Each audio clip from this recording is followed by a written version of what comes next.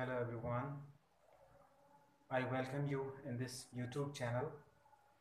And today I'm going to teach you some words related to our body. And uh, many of you are struggling to speak English and uh, you lack proper vocabulary. So in order to fill that gap, I have come up with some vocabulary which will enhance and enrich your words to speak in day-to-day conversation.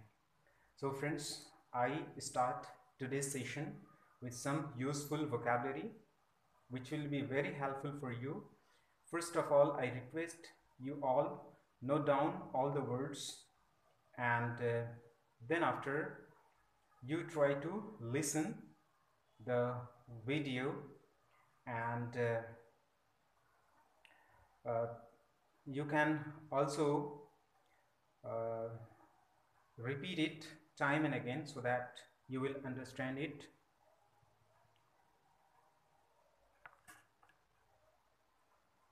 Okay friends so let's get it started. The first word is inhale. In hindi we call it saans lena. Exhale saans chorna. paint or other word can be used, puff हाँफना though puff word is also used as a noun. Cigarette की एक कश के लिए हम puff word का use करते हैं, जिस तरह से एक लुकमा या फिर हम जो है, एक कोड जो बोलते हैं हिंदी में, उसके लिए वर्ड हम मॉर्सल यूज़ करते हैं और सिप वर्ड ये घूंट के लिए यूज़ करते हैं।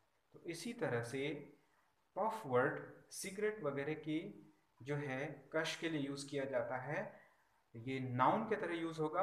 अगर सिगरेट का कश के फॉर्म में यूज़ करेंगे तो अदरवाइज़ यहाँ हाफना के फॉर्म में अगर यूज़ कर रहे हैं हाफना के लिए यूज़ कर रहे हैं तो ये वर्ब के तरह यूज़ हो रहा है।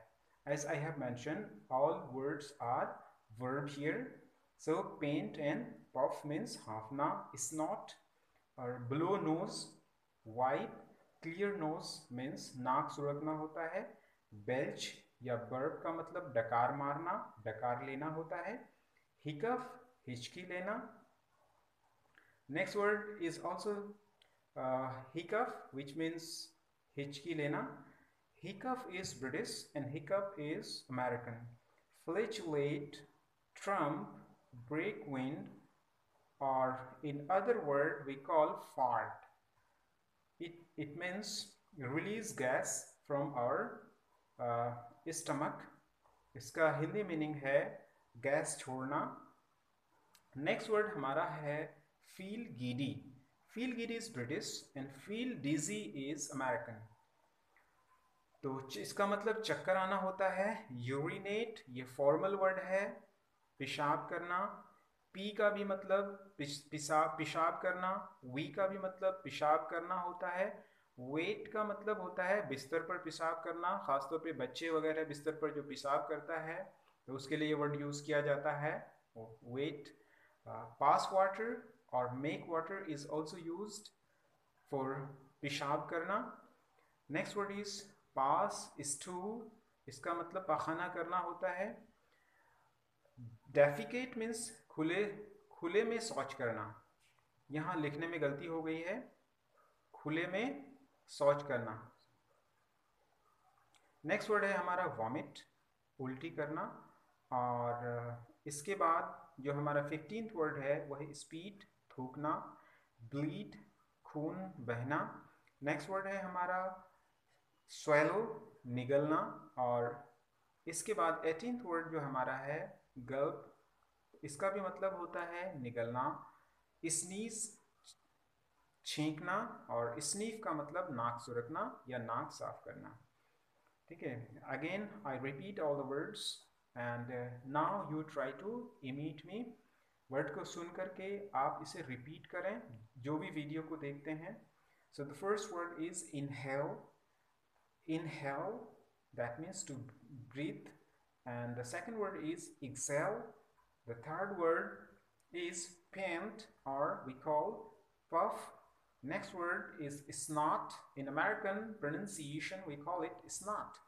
And other word is blue nose wipe or clear nose. Same meaning here in English Hindi. Uh, next word is belch or burp hiccup or hiccup flatulate trump or fart or we call it break wind next word is feel giddy feel dizzy. And the other word here we have got urinate. It's formal pee wee wait pass water make water. And other word is here pass is stool next 13th one defecate vomit spit bleed swallow gulp sneeze sniff. So friends i hope you would enjoy so i again request you first of all jot down all the words on your notebook and then after try to listen it carefully time and again and obviously it would be very helpful for your spoken English. So friends that's all till I come up with next video. Bye bye. See you.